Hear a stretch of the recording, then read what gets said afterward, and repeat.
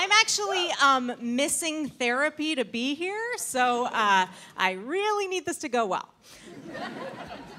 I, uh, I love therapy. I think therapy is great. I think everyone should be in therapy. Everyone should be in therapy. Don't do it for yourself, do it for your friends. they don't want to hear that shit anymore. if you think you don't need therapy, here's what I want you to do uh, tell your best friend that you're thinking about it, uh, see how relieved they look. I, I became an aunt recently. Thank you. Um,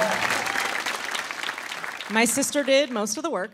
Um, it's cool. You know, I really thought that my parents loved me until they became grandparents. And it turns out they were giving me about 50%. I know what their love looks like now. It's a new thing I hadn't seen before. Frankly, it's dazzling. It's cool. He's very cute. We've got a photo stream on our phones for pictures of the baby. Anytime my sister takes a picture of the baby, she adds it to the photo stream. We all get a notification. There's a new picture of the baby. If we hang out with the baby, we can add a picture. That's not what I've been using it for. Uh, what I like to do is I like to upload pictures of myself doing just whatever the baby was doing in the last picture. But like a little bit better. You know what I mean? Like with more dexterity. Like he's cuter than me. I will give him that. But I put the triangle block right in the triangle hole. First try. None of this banging around on the box. It's Gotta be worth something. Raising kids seems really hard, which is why I am all in favor of putting your kid on a leash if you want to. It gets a bad rap, but put your kid on a leash. I don't care. I've never seen a kid on a leash who didn't need that leash. You know what I mean? The leash is always pulled taut. They're always reaching for a stranger's mouth. Put your kid on a leash. I don't care. I don't understand a single argument against it. People are like, I don't want to put my kid on a leash because I want him to explore. I want him to be an explorer. You guys know explorers, history's worst monsters. Why would we encourage that behavior? Maybe Maybe if Columbus's mom had put him on a leash as a kid, he wouldn't have spent his adulthood genociding everyone. Teach boundaries young.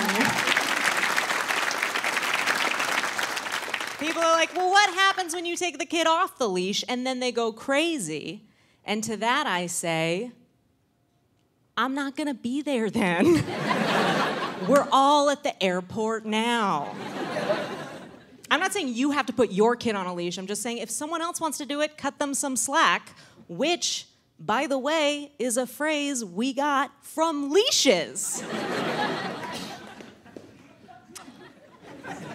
it was a it was a rough election. Uh, I think we all agree on that. I really think Donald Trump was the Air Bud of this election.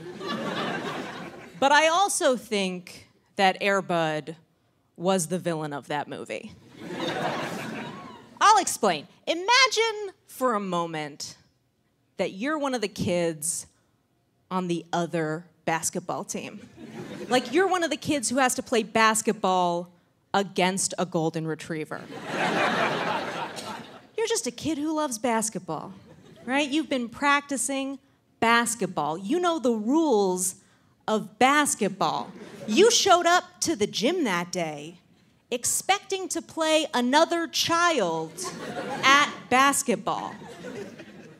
That's Hillary Clinton, right?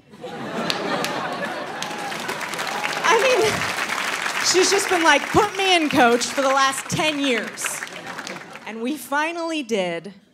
And then this freaking fluffy dog who has no business on the court comes running out, distracting everybody.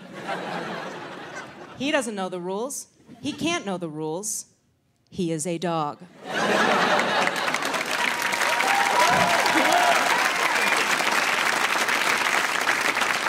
He's traveling like crazy. Where's the ref?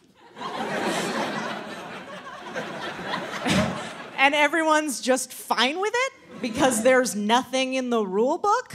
that says a pumpkin headed reality TV star can't be president? Let's write more rules. What are we waiting for? Also, I should say, I have not seen Air Bud.